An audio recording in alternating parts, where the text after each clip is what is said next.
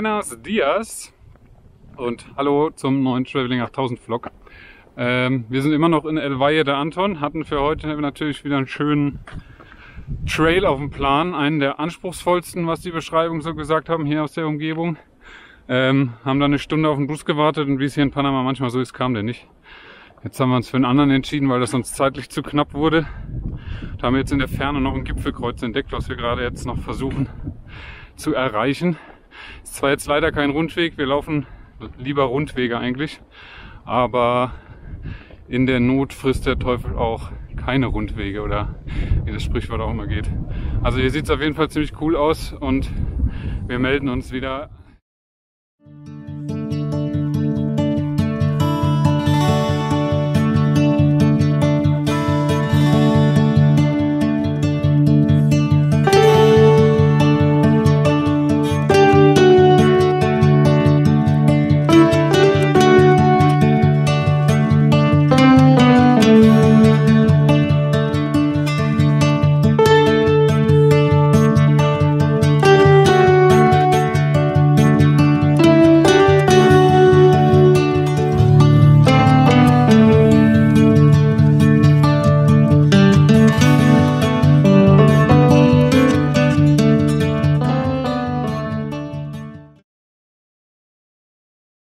So, hello again.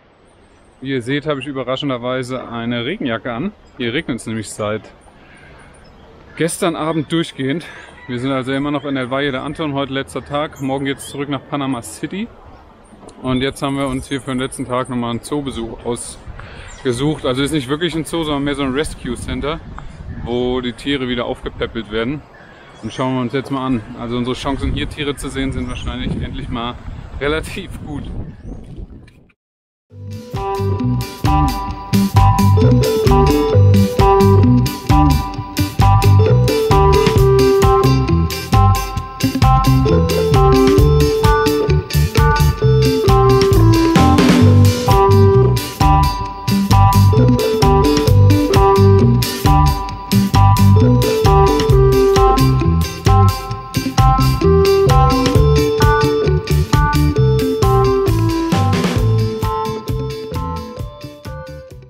So, beste Grüße aus Panama City.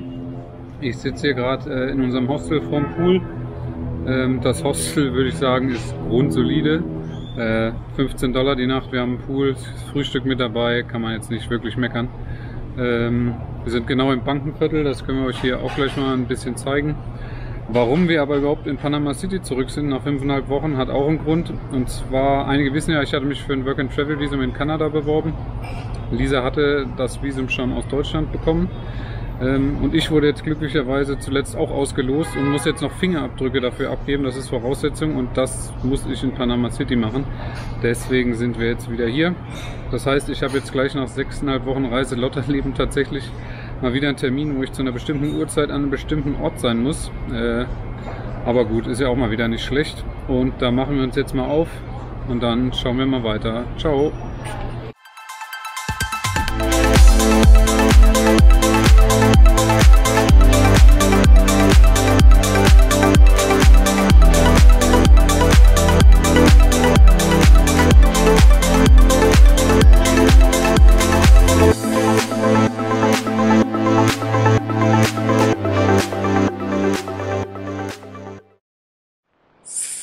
Ich habe erfolgreich meine Fingerprints bei den Kanadiern abgegeben. Hoffe, die lassen mich damit jetzt rein. Und wir sind jetzt im Anschluss in den Park Metropolitano gegangen. Das ist ein Nationalpark, der ist hier mitten in Panama City, also mitten in der Großstadt. Und ziemlich groß, ziemlich grün, also richtig cool. Hier gibt's sechs Rundwege, braucht so zweieinhalb Stunden oder so. Und wir sind jetzt gerade hier auch am höchsten Aussichtspunkt mit überragendem Blick auf die Skyline von Panama City. Und wir haben sogar schon ein paar Tiere gesehen. Also der Bann ist jetzt hoffentlich gebrochen und zeigen wir euch jetzt mal.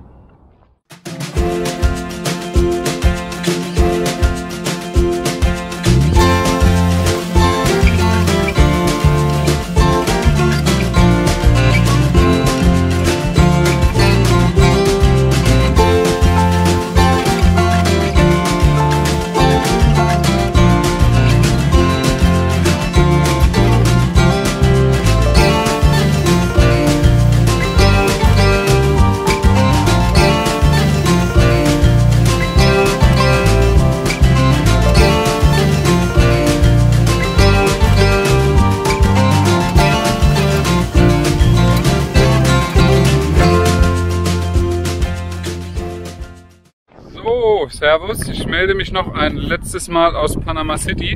Äh, wir fahren heute Abend im Nachtbus nochmal nach Bocas del Toro, wo wir am Anfang schon mal waren, äh, weil wir von da am Donnerstag äh, den ersten Grenzübergang der Weltreise haben, und zwar nach Costa Rica.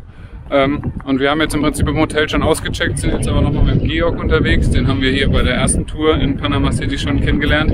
Das ist ein Deutscher, der seit 15 Jahren hier lebt, aber hat auch 17 Jahre in Koblenz gelebt tatsächlich. Ja, und der hat uns jetzt hier nochmal mitgenommen zu so einem Strand, wo die Panamesen meistens äh, ihre Wochenenden verbringen. Und hier ist aber gerade Ebbe und man kann hier ziemlich weit ins Meer reinlaufen, ist recht cool. Ja, und hier gucken wir uns jetzt mal noch ein bisschen um. Genau, und dann geht's Richtung Costa Rica. Bis denn. Ciao.